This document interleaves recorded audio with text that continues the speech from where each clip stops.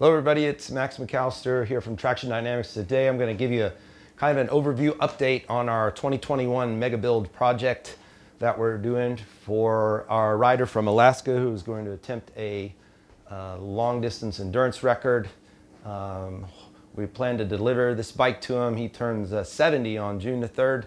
So we're hoping this bike, he'll be here to be fitted to it around June the 1st, do some test rides on the 2nd, and then start off on an adventure on June the 3rd.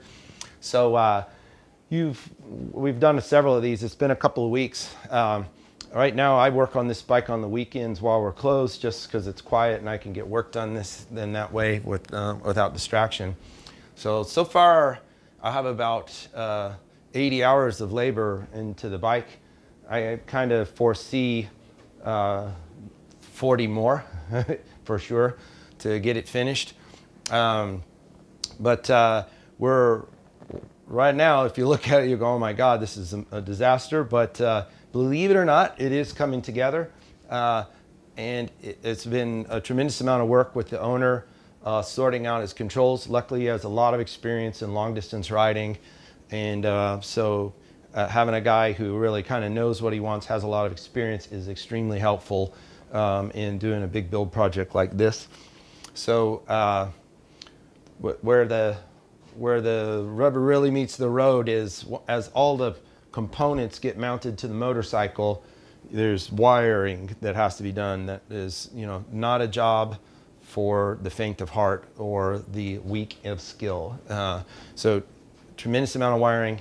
And if you want a bike to, you know, be able to live reliably and not fail and constantly give the owner trouble, uh, the wiring is, the, is just so important. It has to be properly routed, properly loomed, so nothing interferes, nothing gets pulled, nothing gets ground, nothing gets shorted, and um, it's a big deal.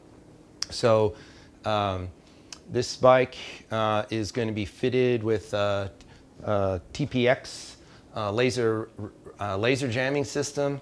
Uh, if you can come over here and kind of look at what all is going on here um, at the kind of controls. So there'll be a, a TPX laser jamming system. That'll, the brain will be in the glove box, hidden in the glove box. Uh, there's a pair of transponders on the front and, uh, and then uh, visual alert lights. Uh, so if a policeman happens to shoot him with a laser beam, the left uh, visual alert here will flash really brightly at him so he'll know what's going on. And then the system uh, is active for three seconds and then shuts itself off. He also has a remote control here that he'll be able to run. If it flashes once, he can hit it, but it, the, it supposedly takes three seconds to shut it down. So there'll be three seconds that a policeman might go, hey, how come I'm not hitting that motorcycle? And the, this bike will block it no matter what speed you're doing. So that gives you a chance to close the throttle, slow down, and find the normal safe speed and smile at the cop as you go by. And then he's also using the TPX uh, radar detector over here. We've got that on uh, the Traxxion Dynamics radar detector mount, which is out to the side, clear of the windscreen, and gives a clear fore and aft view because this has an aft uh, viewing radar sensor. So it'll be inside of his arm and he'll be able to see behind him. Uh, this is a Bad Elf um, product called a Bad Elf. This is a GPS signal amplifier. Um, so that uh, helps um, when he's in remote areas. We'll make sure the bike is always GPS connected. This is the RAM uh, cell phone mount that uh, does wireless charging, and uh, that's pretty cool. So we'll have um, very. He's got various uh, toll booth passes as he goes from city to town, to, or state to state. I mean, uh, over here we're going to do a custom mount. He's got the CB installed on the bike but um, using uh, HeliBars Horizon setup, the fully infinitely adjustable handlebars, they they have one little fly in their ointment there with this product, and that's there's no if you have a CB, they don't have a way to mount the switch other than to mount it straight up at the sky. Uh, you know, most people don't want their switches pointed up into the rain and the sun, so we're going to fabricate a. Uh, I have a, a, cool part here that I'm going to make uh, that will make this oriented properly for his thumb, and then uh, uh, obviously we, you'll see we've got um, a, a shelf fence built, custom shelf built for gadgets and gizmos. We're going to have a couple more ram balls coming for uh, things and give him options if he wants to uh, mount stuff to the top. We're going to have a uh, new Garmin Zumo XT uh, that will likely just be sitting in front of the stock Honda Nav, which by most people's uh, opinion is completely useless. So he wants to have redundancy in navigation. So he normally navigates with his phone, but he'll have redundancy there with a Garmin. And the Garmin is actually super trick. The new Garmin Zumo XT is like really um, elaborate uh, and a lot of cool uh, updated features. And then one of the key elements to his success for long distance adventure here is this auxiliary gas tank.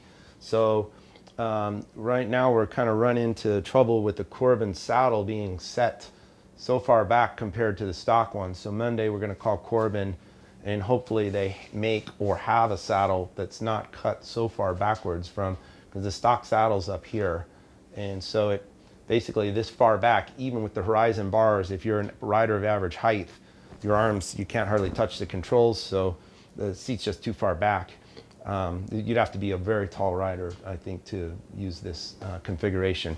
This also already has our uh, Traxxion Dynamics trunk setback kit on it, the inch and a half kit. We're probably going to go ahead and move this one back to, to the two and a half inch spec while he's got his gas tank on it.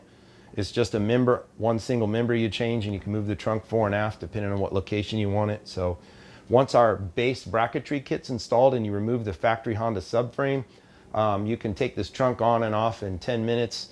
Uh, and it also gives us, you know, option if he's running this auxiliary tank, he'll be able to back it up, have more room between him or room to stuff a jacket or something. So this is something we got to work out, um, and we're not we're not clear on where we're going with that yet, but uh, it's part of the part of the fun and drama of, of uh, building a bike.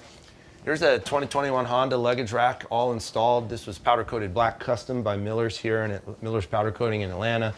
So it's the only one like that that I know of. Uh, and you know, we're, it's kind of all coming together. Um, here's, you know, the Rivco trailer hitch with um, a mount installed for a packet rack, which he's going to be doing his adventure with, not a trailer. He's going to be using a packet rack. And, uh, and so that's, that's where we're at. Uh, this shelf was quite a project.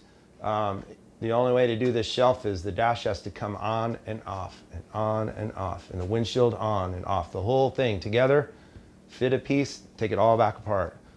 Adjust a piece, put it all together, take it all back apart. It's very, very time consuming. So that was uh, uh, custom. This is a shelf that was intended for a 2001 to 2017 uh, Goldwing made by Fire Creek Accessories. So it had a bunch of tabs and bracketry that were not going to work with this bike.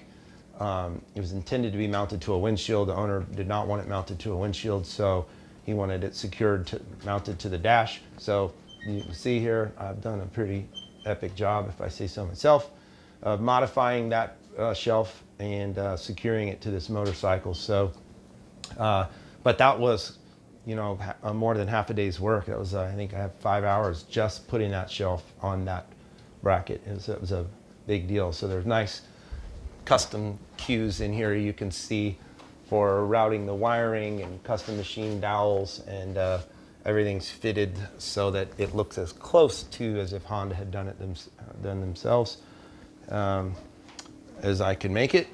So we like it to look clean and neat and professional. So Anyway, this is where we're at. Uh, a week from now, I suspect this will be much farther down the road. And in you know two weeks, I actually need to be delivering it. So this uh, I've got to hit the hit the road here with this and get it going going much faster than I'm going. So anyway, uh, that's the update on the project. And uh, so check back on my bowls of spaghetti and when we'll see if I get this put together and cleaned up and neatened up and looking good. So thanks a lot for watching. My name's Max. Don't forget to subscribe and share this video with your friends.